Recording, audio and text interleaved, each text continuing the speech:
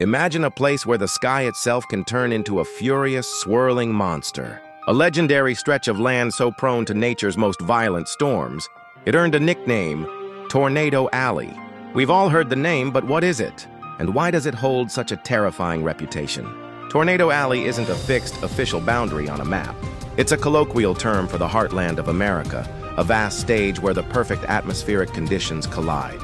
From the warm, moist air surging north from the Gulf of Mexico, to the cool, dry air sweeping in from the Rockies and Canada, to the hot, dry air from the southwest deserts. These three distinct air masses meet, creating explosive instability, the ideal recipe for monstrous thunderstorms known as supercells.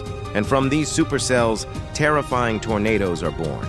This unique collision fuels an average of over 1,000 tornadoes across the U.S. every year, with a significant concentration tearing through this central corridor. States like Oklahoma, Kansas, and Texas have seen their towns become synonymous with these devastating storms.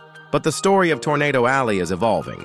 Recent research suggests a subtle yet significant shift eastward.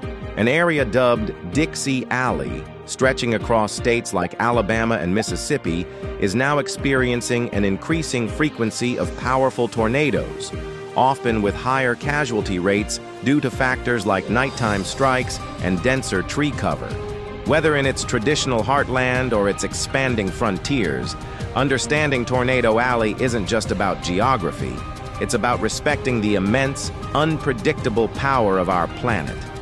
It's a powerful reminder that even in our modern world, nature can still unleash a fury that commands our awe and our preparedness.